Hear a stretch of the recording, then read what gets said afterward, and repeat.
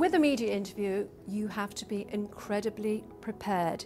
If you do a bad interview, it will just haunt you uh, for the next few weeks, months, possibly years. It's the consequences of doing a bad media interview are quite fierce. So you do need to be very carefully prepped, especially if you're talking about things that are controversial and potentially uh, divisive. You have to be very, very strategic and focused. That means you know what the messages are.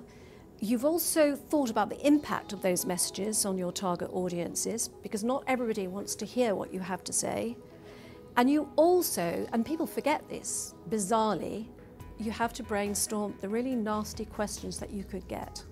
If you're going to rehearse for a media interview, you need to decide what you want to say. You also need to think about the questions that you'd like to be asked.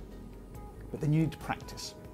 We recommend a role play where the trainer acts the part of the journalist.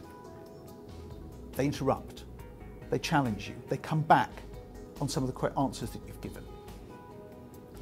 That sort of rehearsal is what sets you up for a really successful media interview.